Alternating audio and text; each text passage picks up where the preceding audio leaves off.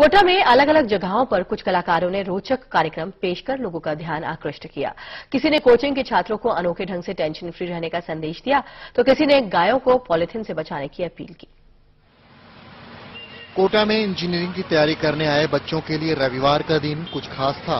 नागपुर की श्वेता ने उनके लिए विश्वास शब्द के माध्यम से टेंशन फ्री रखने का संदेश दिया।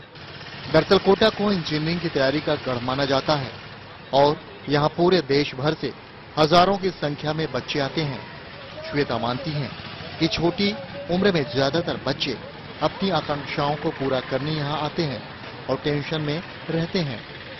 पेरेंट्स के लिए एक मैसेज है कि बहुत ज़्यादा अपनी अपनी चीज़ें जो अपने सपने हैं वो बच्चों पे ना ज़्यादा जताते हुए बच्चे क्या चाहते हैं पहले वो समझे।